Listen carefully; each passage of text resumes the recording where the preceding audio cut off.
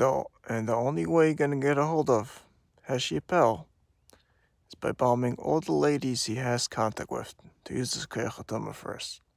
Just like the Russians got a hold of Adolf Hitler.